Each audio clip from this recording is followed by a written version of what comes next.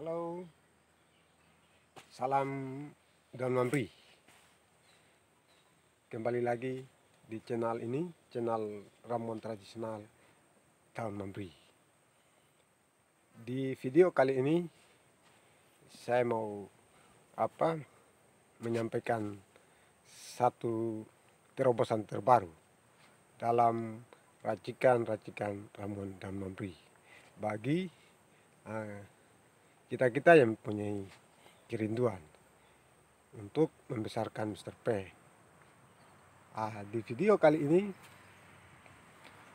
saya mau mereview kembali semua racikan-racikan saya, baik uh, yang dalam bentuk serbuk, yang dalam bentuk minyak, dan juga dalam bentuk salap. Tiga produk yang merupakan apa racikan saya.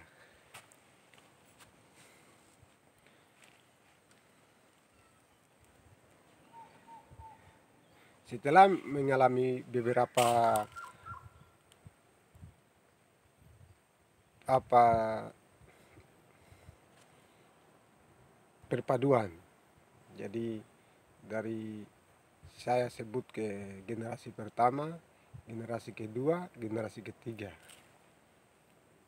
dan saya telah mendapat puncak daripada uh, kesempurnaan dari ketiga produk ini.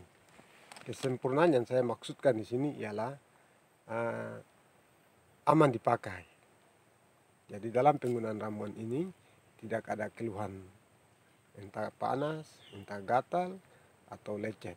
Lecet yang ditakutkan oleh kita semua dalam penggunaan ramuan ini saya telah menaklukkannya dengan uh, beberapa jenis tumbuhan yang telah saya dapatkan.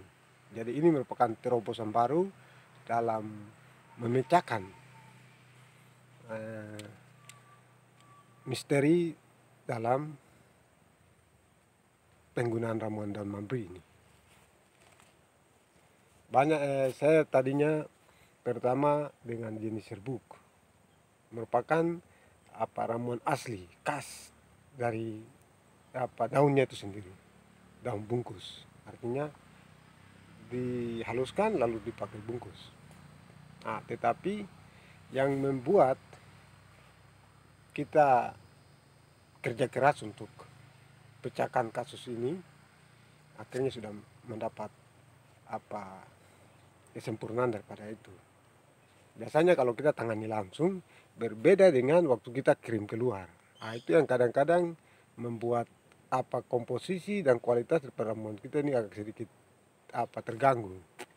Kita harus perhitungan jarak tempat, waktu sehingga komposisi racikannya ini kita harus kurangi.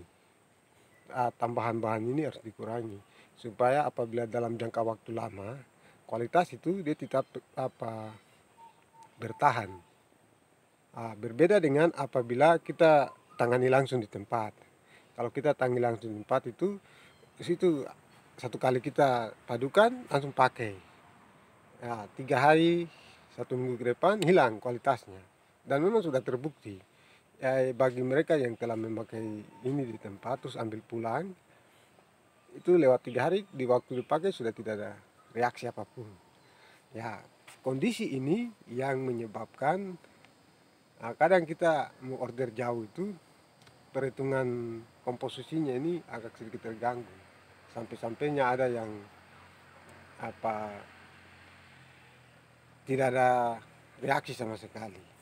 Karena kita mencoba untuk apa memadukan ramuan ini supaya bisa aman ah, puncak kesempurnaan daripada ramuan ini yang seperti saya sampaikan tadi sudah saya uh, dapatkan. Uh, sehingga untuk saat ini saya menjamin untuk penggunanya itu aman. Untuk yang jenis bungkus. Karena saya sudah tiga kali memberikan uji coba kepada orang di sini dan sudah mendapatkan kesempurnaan daripada pemakaian ramuan ini. Jadi pemakaiannya yang kadang dikeluhkan oleh pemakai itu satu itu uh, panas. Terus yang kedua gatal. Terus yang ketiga muncul apa lecet. Tiga hal ini yang masih jadi keluhan banyak orang di luar sana tetapi kali ini saya sudah memecahkan apa kasus itu. Saya sudah berhasil apa mendapatkan apa dia punya kesempurnaan. Ada bahan yang sudah pas untuk dipakai campur dengan daun ini. Sehingga waktu dipakai itu aman.